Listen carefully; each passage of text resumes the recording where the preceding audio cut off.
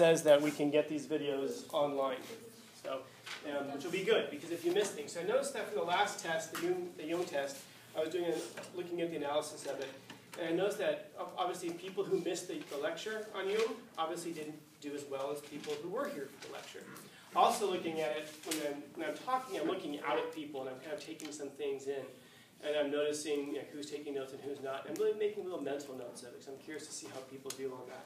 And of course, surprise, surprise, the people who, are, who seemingly anyway are taking the best notes or the most notes anyway in terms of volume seem to be doing better on the tests as well. Um, remember that the articles that we're looking at will give you some of the answers. As I'm lecturing to you, I'm giving you all of the answers of things that are going to be on the test. And I don't want it to be something that's surprising. I'm not trying to trick you, like, well, what, was, what was the fifth word of my lecture? It's nothing like that. Um, if you just follow those basic guidelines, if I write something on the board, you should be writing it down in your notes. If I say something twice, if I repeat myself, if I say something twice, you should be writing that down. Say and, something. and then the hard one, by the way, for most of us, is if I say something that's new to you, in other words, some piece of information that you didn't know before, you should write that down too. Rather than passively go, that's interesting, or worse yet, I didn't know that, or worse yet, who cares? Those are the things that you should be writing down. Don't assume that you're going to remember anything that you, that, that you hear in here. Um, so, there you go. So as always, I mentioned before, I've got notes I'm working off of, and the purpose of the notes is just so that I'm sure that I cover everything that I'm going to be asking you um, on, on the test. So, all right, so we're starting with, with Socrates, and we're going to move into the allegory of the cave, which is his most famous thing. And some of you, I know, have read the allegory of the cave before in, in other classes, but I'm going to submit to you that we're going to be looking at it from its, from its actual philosophical underpinnings, not this idea. How many of you have read the allegory of the cave before and know something about it? Yeah. The way that we typically teach it is, you know, the world that you see is not, is not the real world. And then that's usually how it's taught. But I'm telling you, man, it is so much deeper than just that. It, it's, it's so incredibly deep I'll, I'll go so far as to say that it deals with the most fundamental questions of existence and how it is that we understand that whether we believe it or not, whether it's true or not, is everything. And I mean that quite literally. It gets down to whether or not the soul survives death, whether or not existence um, you know, um, comes after, after death. So it's a huge question, man. The, the biggest question in the world. Oh, by the way, um, someone last period asked me if, they're, if you're allowed to record my lectures and things in class. Yes, you're allowed to record what I, what I do in class. I mean, it's not, again, I'm not trying to surprise anybody. Um, all I ask is that if you record it, record the whole thing. Don't splice it up and, you know, like make like an F word montage to throw on the English teacher. You're giving us ideas. Then you have to wonder if I'm doing that consciously or if you're or if I'm putting something in your unconscious. This could probably happened before. It has happened before. So we're looking at uh, again, Socrates. And so Socrates, born in 469 or so. Um, we'll call it 470 make it easy. And we'll make it 470 make it easy. And he dies in 399 BC. Not that his birth year doesn't matter, but there's some discrepancies. Either four, it's either uh, 469 or 470 BC. Dies in 399. So he lives to be about 71, 70 years old. Okay? Now, he has a very famous student who I've mentioned a few times. Who is it? You liked playing with it when you were a kid. Plato. Plato, yeah, it's Plato. Plato. So, yeah, Plato is, is the dude's name. That's his famous student. And then Plato had a very famous student. Anybody? Starts with Aristotle. Yes, Aristotle. Very good. And then Aristotle, along with Plato, along with Socrates, forms the foundation of, of our Western culture, Western understanding of the world around us. In fact, a very famous 20th century philosopher, Wittgenstein, said that all philosophy and the whole uh, course of Western philosophy is just footnotes to, to Socrates. And then, of course, his. From democracy and the republic. Exactly. The whole ideas of democracy come and, and republic come, come from this time period anyway. But we're going to find out in this short time that Socrates absolutely hated democracy. He thought it was horrible. We'll see why. So the main um, thing that we're looking at here is his epistemology. And epistemology is essentially the study of how we know what we know. Episteme means, means knowledge, ology, study of. So epistemology is how we know what we know. So if I were to ask you, how do you know what you know? You know, when you gain information, you gain knowledge. How do you know? In other words, how do you gain knowledge? Our brain. Our brain. What about it? It gets transferred from other people How? verbally, Okay, so you hear it. So you hear information, You and then after you see it. Yeah, so you can see it, you can hear it. Our five senses. Yeah, our five senses. We So- smell. What's that? We smell it. We smell things, we taste them, we touch them. If I said to you that an oven is hot, you work with like a little kid, and you tell a little kid, oh, oh oven, hot. And the little kid will hear it and go, know? and the kid, I guess, knows something a little bit. But then when you walk away, the kid goes, screams, you know? Now that kid has learned something, right? They could have learned no other way. Now they absolutely know about this. But again, two different ways of learning. So now, sometimes depending on how it is or what you're learning, certain senses will be better than others. From that case there, you'd rather learn from hearing, right? But sometimes you gotta grab the little kid's hand and stick it on the hot plate, right? Just so it learns, right? Yes. You guys are sick. Social services. yeah, I'm gonna take some names. Yeah, I'm gonna take some names down after this. I've got some referrals for you. All these things happen to me before. Uh, oh, jeez, I'm sorry about that, man. We'll talk to your uncle afterwards. Okay. So, all of our knowledge is, it comes from these five senses. And, and by the way, there's a few ways of looking at knowledge and where it comes from. The first one is going to be called materialism. And you can think of materialism as coming to us through this thing called empiricism. And empiricism is essentially the idea that we, you know, that, that you can learn things through these through these senses. And materialism is this, is the assertion that all that all knowledge comes through these five senses. And so that all, all knowledge is five senses. Because the whole universe itself is only physical. So that means that, you know, whole universe is this physical stuff that you can touch, taste, feel, hear, and so forth. And that means that you're learning things empirically. Empirically is essentially this formation of the, the I mean, very, very simply, maybe overly simply stated, the, the uh, foundation of Western um, scientific method, empirical, empirical study. That's using your five senses. And that asserts, of course, that all that exists in the world is what's material, the material world around us. Now, of course, this is problematic. Um, so if, if it's on two counts, first count, ha- um, have you ever, have your five senses ever been deceived? Yes. What's an example of your five senses being deceived? You smell something and you think it's one thing, but it's Chicken another. Yeah? So you, you think you smell something, but you're not actually smelling what's, what's actually being smelled? When you're Yeah, that's what we were talking about last week. Like you're walking through the hallway. You ever walk through the hallway and you think you hear your name and you stop and you're looking around? Or you hear the ice cream truck, Yeah, it's actually not just there. it. Yeah, you think you hear the ice cream truck. So we know from there that, that your hearing is oftentimes mistaken. Um, you ever, how about if you, if you, if you go to a, a pool and you stick your arm into the pool, what happens to your arm? Well, besides getting wet, what looks like happens to your arm? It gets. It's like it bends. Now, when you put your arm in the water, does your arm break and snap? And you ah, then you take it out, the air all of a sudden heals it, and your arm's fine again. Yeah, it's because of reflection and light waves. It looks like it's bending, but it's really not. So your eyes are deceived in that case. Now, those are very simple, kind of rudimentary ways of, of seeing it, but you can see how those problems compound. Now, if it's true that all of our knowledge comes from these five senses, we understand, therefore, that there's a problem that our five senses are often deceived, which means that our knowledge is faulty. So, which means that we can't really be certain of things, which puts us in a really chaotic place in the universe.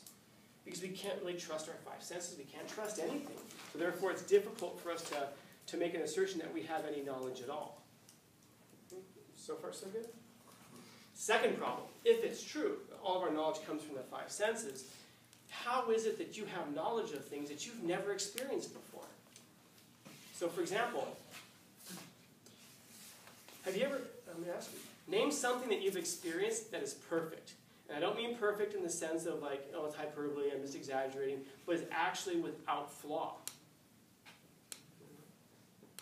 Wait, repeat that again? Yeah, name something that you've ever experienced that is literally, not figuratively, but literally without flaw. Can you give an example? Like I acing a can't. test, like a. So you can, so you can maybe get, you know, not miss any questions on a test. You know?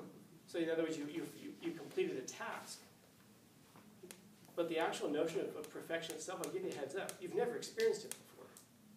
And yet you know what it is. And s- you follow? Mm-hmm. And so that we might think of it as, well, that's whatever. No, but that's a very deep thing. Because that means that you seem to have knowledge of things that you've never actually experienced before.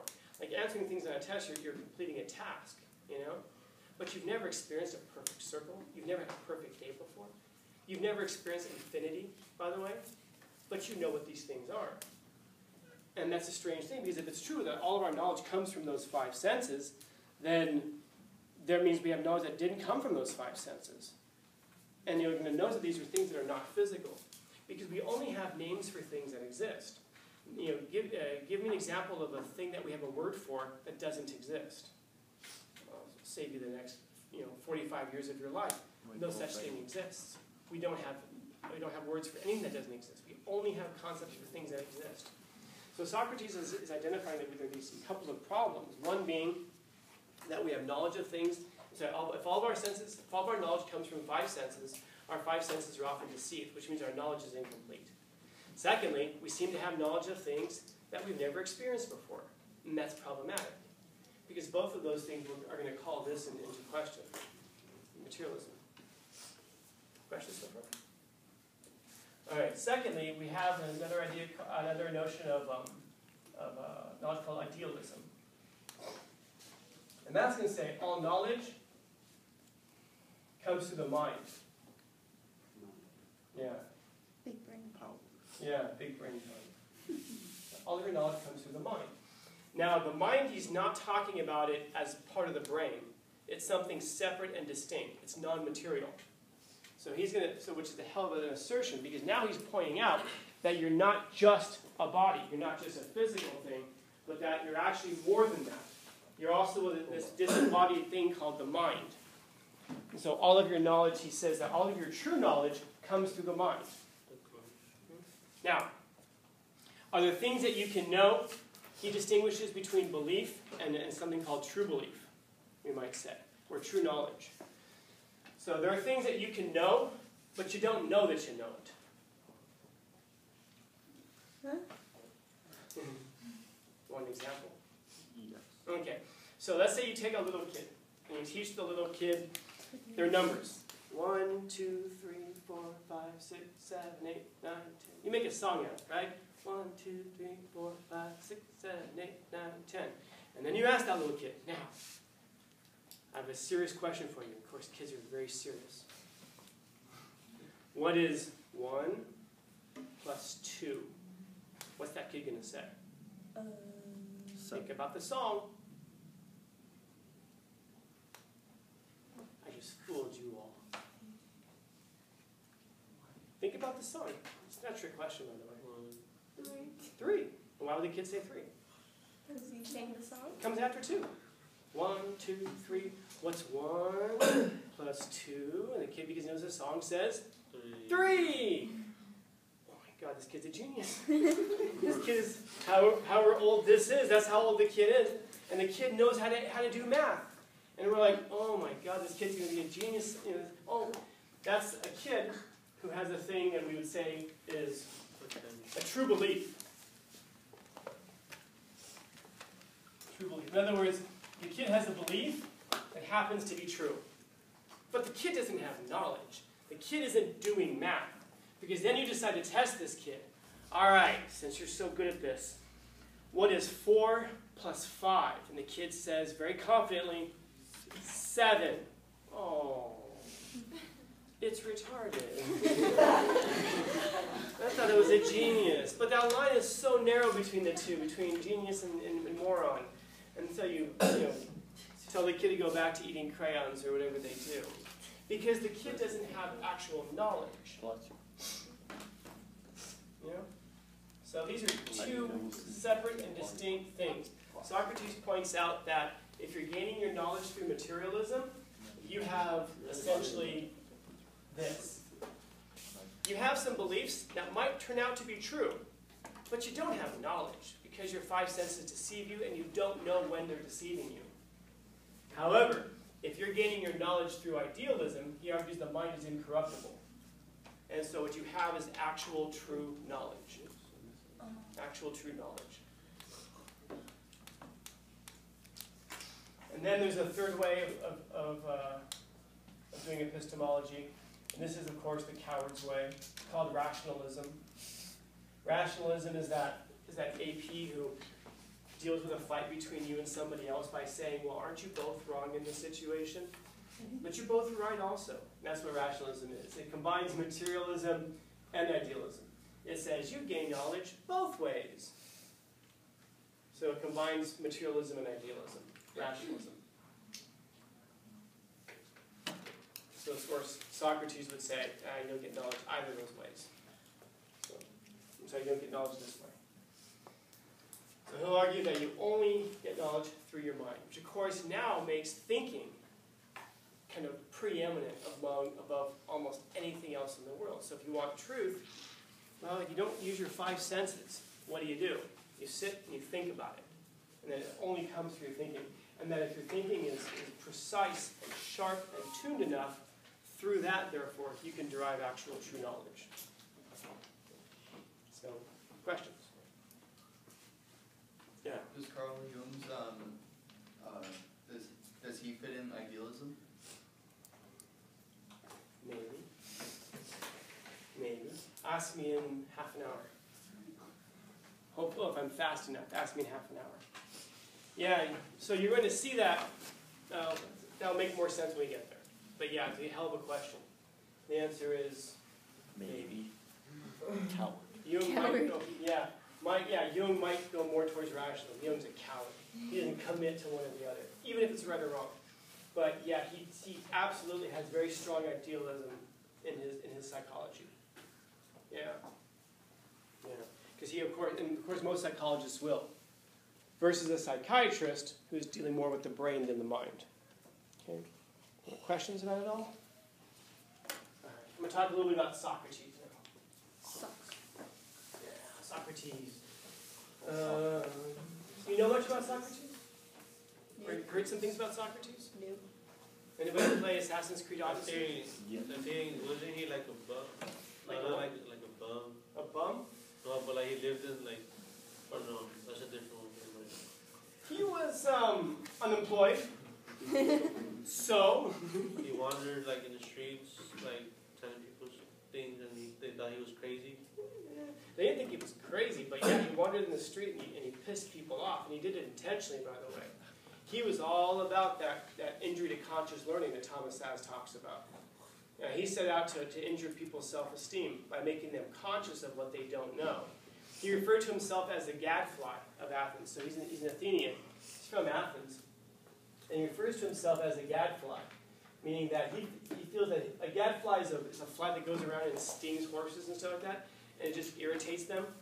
He thought that was his job, was to walk around Athens and, um, and um, irritate people. Which I guess actually can jump right to his, um, his wife. He was married. Um, to a woman named Xanthe. But I mention her all the time because she becomes very famous throughout history. Because she was a woman who has become kind of the, print, like the archetype of a horrible wife. And she was an abs- she has a reputation for being an absolute raging bitch of a wife. You know, and she really was. She's a horrible person. Um, I can give you some examples. Um, and again, I, I'm sorry if this upsets some of you. I know it probably will because she's so extreme but try to contain it um, where we are. But she, so they had three kids together. She expected him to actually stick around and raise the kids. Yeah, I know, I know. I mean, not only that, by the way, she expe- she wanted him to get a job. No. Yeah, I know. Some of you are triggered right now. Like, what? She wanted him to, to grow up and be a mature human being? I know. Please I tell know. me she washed the dishes. I know. but that's so because of that, she re- uh, she's known throughout history as being the archetype of a nagging wife. Because she wanted him to help, you know, actually be at home and help raise the kids rather than wandering the streets like a bum. And she wanted him to actually get a job and contribute in some meaningful way, not just this philosophy stuff. So it's a great quote for him from him where he says, Socrates very pointedly says, you should get married. If you find yourself a good wife, you'll be happy. And if you find yourself a horrible wife, you'll become a philosopher. and then, of course, all the guys sat around, pointing at her. But when you look at, at, at their life together, he only got to do philosophy because of her. She came from a very wealthy family. She was very well connected within the politics of Athens. In fact, the only reason that he was alive as long as he was was because she- he was married to her. People are like, we should kill that Socrates guy. Ah, he's married to Xanthe. You know who her family is. Yeah, but you know he should die sometimes. Yeah, he, he was very well privileged because of who he was married to. That's her wealth, her position, all that is what allowed him to walk around and do philosophy. So it always bothers me, like you know, you read, like you watch um, Shakespeare's Taming of the Shrew, and he makes a reference. There's a, a, a, very nagging wife in that in that play, and Shakespeare compares her to to Xanthe, and you just sit there and go like, that's terrible. So it always bothers me that she gets this really horrible rap through history. For when all she expected him to do was just kind of stick around, help raise kids, and get a job. But for that, just for that, she's remembered as like the archetype of a, of a terrible wife, which is um, not good. Um, oh, he fought in the Peloponnesian War, so he was a soldier. Um, any of you guys see 300? Yeah. Okay, that was him. Was he a good one? Yeah, he fought. Uh, he, he fought in that war. Um, and I'm not just saying this right out of stall because I can't remember how to spell Peloponnesian. Against the Persians. Something like that. Peloponnesian war. For some reason, if I'm sitting at my desk, I can write it. As soon as I get in front of you, I will forget how to spell. I think this is accurate. But it's the Peloponnesian War. And that was a war among a lot of the Greek states, and specifically, and obviously in his case, Athens against, who did they fight against? Not, not Persia, but the other ones. Sparta. The dudes who kick people into big bottomless pits. Sparta. Sparta, yeah. So he, so it was Athens against Sparta, and Sparta wins, by the way. yeah. Um, but he fights in this way, and he fights, by the way, apparently very honorably. But he saves the life of a guy during this war named Alcibiades, Uh, and in not in a particular battle, but Alcibiades. If any of you guys remember playing Assassin's Creed Odyssey, Alcibiades is the guy who shows up constantly throughout the throughout the um, the, the game. And Alcibiades not a good dude. Alcibiades looked at the landscape and said, "Man, Sparta's going to win this war." And so he, he he became a traitor, and he went and fought for, for Sparta. And then after the war was over, he just kind of shows back up in Athens like nothing happened. hey, what's up, guys? Wait, wait, didn't you fight for the back for the other side? Uh, you know, the war is over. We should let things go. So Alcibiades is very hated in, in Athens, and Socrates is good friends with him. And Socrates doesn't shy away from that. In fact, at one point, they're telling a story where Alcibiades points out and says, Socrates, check this out, guys. Socrates saved my life during the war. And everyone kind of looks at him like, you saved the traitor's life? And he's like, I did. He's a good dude. You know? Um, that would be like, uh, like, imagine if Hitler walks in here. Obviously, you have lots of questions. But let's say he walks in here and he walks up to Lauren and puts her around Lauren and says, This is the one right here, man. This is the one you want to listen to. This is my girl. And you're like, what, me? Hitler? No, no, I don't even know you. Ah, whatever, man. You know we grew up together. Come on. Hey, listen to what she says. She's brilliant. I'm on your side. Remember, I'm always Team Lauren. And then he walks back out. We all go. You're friends with Hitler? No, This he's is- my great grandpa. She's still. yeah, same idea. Yeah, that would be kind of like when Socrates comes along and says he's still friends with Alcibiades. Yeah, he's a good dude and all that stuff. So that should give you a heads up about, about how the people of Athens saw, um, saw him. Now, we think of him as, as being a teacher, but he denied being a teacher. He said that he never really taught anybody anything because ultimately he was unemployed. You know, he didn't have a job. And so he argued that, that teaching was a, was a profession and one in which he never engaged. Okay? Questions so far? All right. So remember, um, big thing with the Peloponnesian War, he saves Alcibiades' life. And from that, Socrates starts to develop his, his political philosophy. And there's a reason that he, did, that he does not shy away from, from, from supporting Alcibiades. And that's because Socrates is very much on, on virtue and doing the right thing, no matter what, as, as doing the right thing as he saw it. So he, he looks at Sparta, and he thinks that Sparta is a wonderful culture. You know, that they're, that they're, that they're, he argues that their culture is superior to Athens. So when people are talking about the war that they just lost, the Athenians, Socrates is like, I can tell you why, why we lost. Why? Because we're horrible, disgusting, degenerate culture. And Sparta's a superior culture. So yeah, they beat us and they should have beaten us. In fact, Socrates even gets hired as a tutor. When the, when the Spartans come in, they send a group of 70 people in to, to, to rule over the Athenians. Socrates becomes the teacher and, and tutor of, of, the, of, the, of them. And says, oh, I'll tell you all about us. And he becomes, especially the head guy who runs it, he's, he becomes the tutor of that guy. So Socrates is seen as a traitor. He's seen as a guy who, goes around intentionally trying to, trying to piss people off. Does not have a great reputation. But in Socrates' defense, there's a reason he does that. So, for example, so he believes that essentially there are five forms of government. And we'll, I'll lay them out to you, they'll make sense more kind of as, as we get to the end of it. He believes that the best form of government, the top form of government, is called an aristocracy. Aristocracy. Now, an aristocracy is not what we think of it as, where you've got like kings and queens and it's passed down through, through the Based on your wealth? no, not yet. That'll be number three. But it's based off of merit. In other words, you deserve to be on top. And he has a very specific way of determining who deserves to be on top. And he, the, the group that he thinks should be up there is take a guess. What group of people should rule over everyone else? Philosophers. Philosophers. Yeah, that's better. Last period, someone said white people. and I said, obviously, but who else? yeah, philosophers, but a very specific group of philosophers. And he called them the philosopher kings. White philosophers? White philosophers. philosopher kings. Are there any other types? It's just I did it cheat sheet. Aristotle. So the philosopher kings, and he argues that the philosopher kings are people who rule because they should rule. And here's how here's where you get your philosopher kings from. He argues that that we all have a nature. That when you're born, you have a nature. That'll make sense in a bit. And so when you're born, you, all you have to do is look at a schoolyard, look at a playground, look at kids playing, and you're going to find that out. So for example, there's that there's those kids who go around running around together. Like one kid turns, they all turn, and they all chase each other, and they're all part of like the same group. Those are your workers. Those are the people who just kind of follow and, and do their thing, you know, and you know, they don't harm anybody. They just they, they just do what they're told, basically.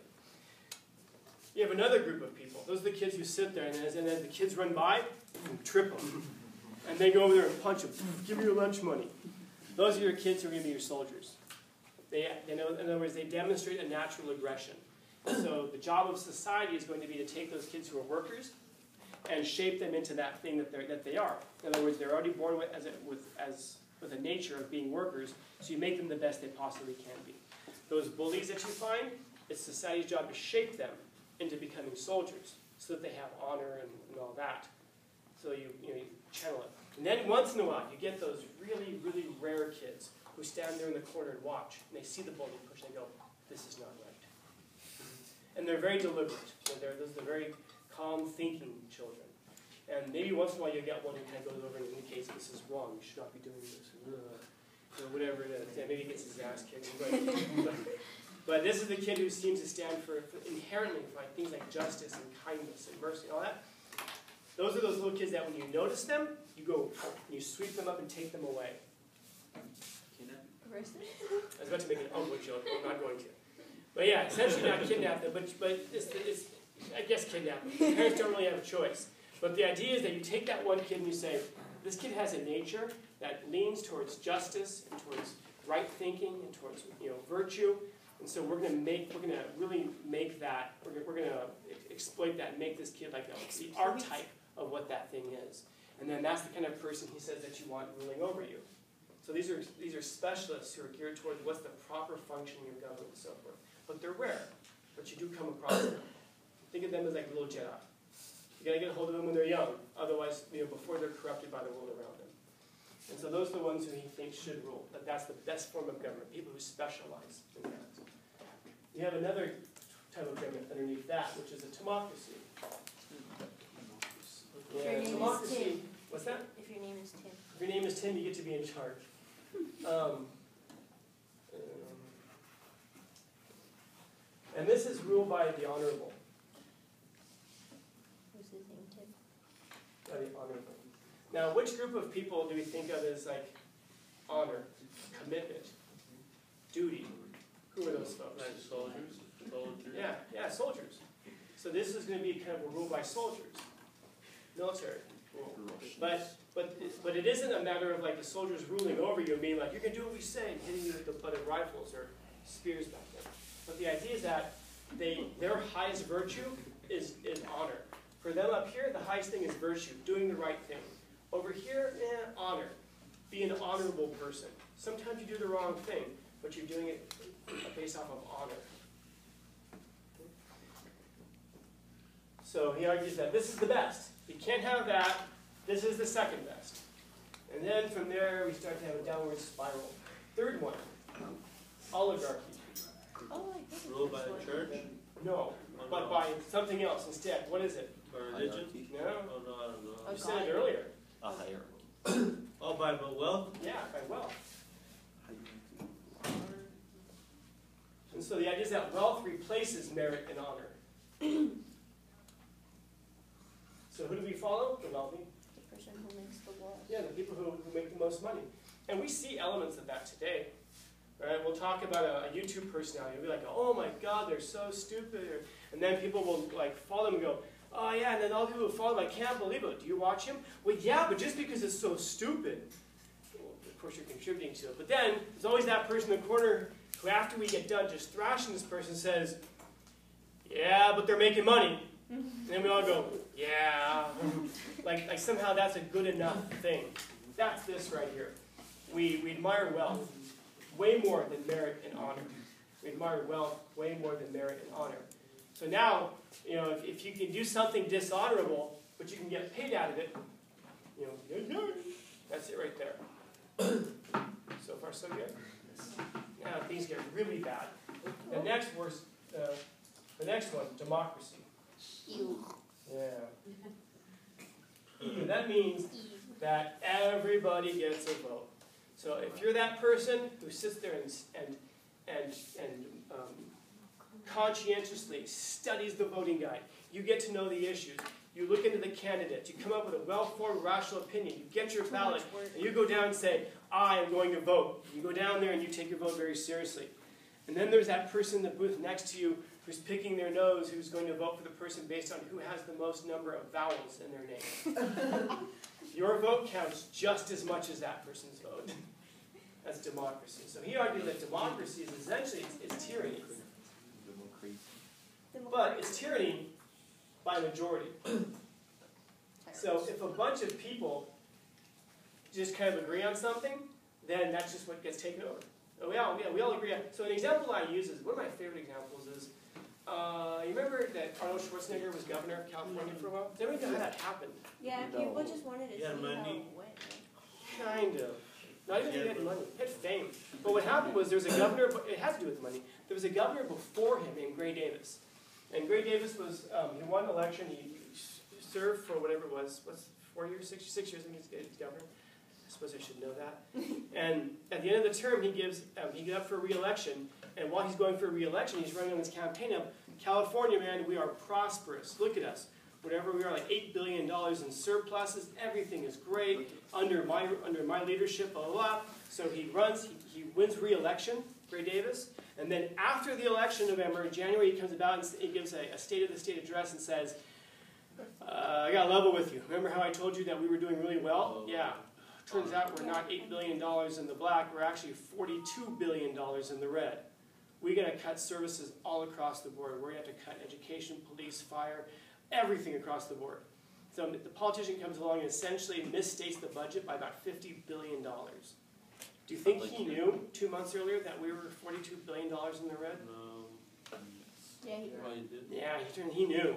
But he knew that if he came out and said, Yeah, we. You know how I've been in charge the past few years? Yeah, I screwed that up, you know, but give me another chance, I'll fix it. So they got the, the electors were, uh, sorry, the, yeah, the electorate was so angry that they launched a recall and said, kick him out of office. So they had a special election because enough people you know, signed a petition to have a special election to throw him out of office. That's what happened. And then that's when Schwarzenegger says, I will run for governor. and so we're like, well, the politicians screwed it up See if an actor. this guy's really strong. and I really, you know, Terminator AI